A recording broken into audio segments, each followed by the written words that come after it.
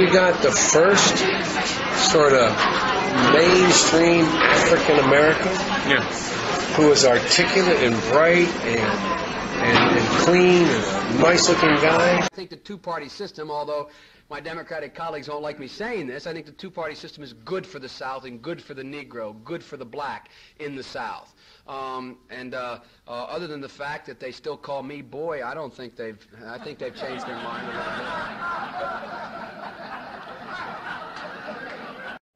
and thanks for joining me. I'm here. Uh, uh, the FEMA director is on.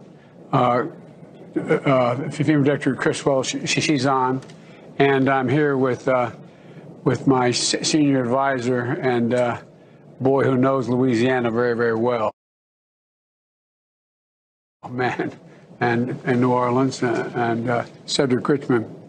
You cannot go to a 7-Eleven or a Dunkin' Donuts unless you have a slight Indian accent. The police, I'm not joking. They're going to put you all back in chains.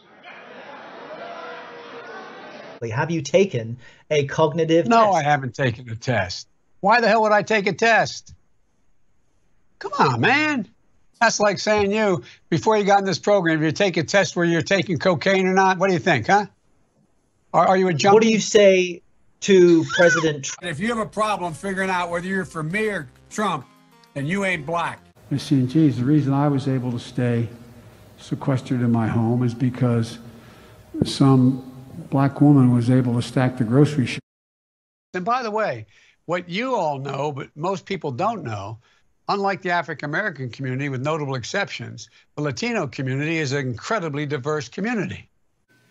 Poor kids are just as bright and just as talented as white kids. Wait, wait, wait, wait, wait, wait, wait.